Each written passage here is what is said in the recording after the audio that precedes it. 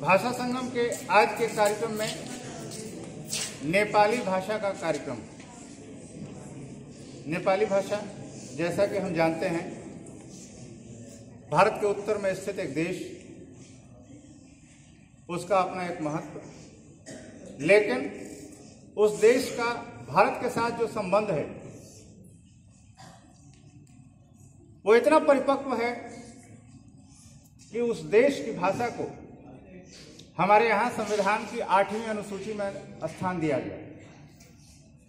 चूँकि नेपाल हमारे साथ इस तरह जुड़ा हुआ है, जैसे वो एक अलग देश न हो, बल्कि अपने देश का एक हिस्सा है।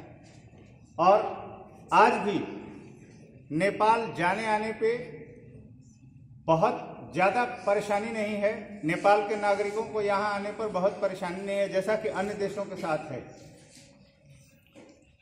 तो नेपाली भाषा को भी उसी आधार पे हमारे यहाँ हमारी आधिकारिक भाषा के रूप में स्थान दिया गया है। मुख्यतः नेपाल में बोली जाने वाली यह भाषा भारतीय आर्य भाषा परिवार से आता है। उसको पूर्वी पहाड़ी भी कहते हैं।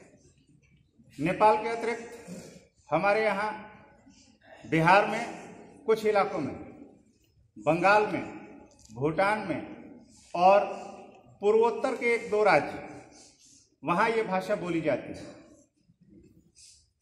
आज नेपाली भाषा के कार्यक्रम के साथ हमारे बच्चे आपके साथ हैं और रोज के अनुरूप आज भी वो क्रम दोहराया जाएगा। आप भी इनका सहयोग करेंगे। लीजिए आपके समक्ष। हेलो। नमस्कार। नमस्कार। व्हाट इज़ योर नेम आपका नाम क्या है? तपाई तपाईँको क्या नाम। मैंने भी रंजन गुप्ता। मेरा नाम विनय प्रसाद है।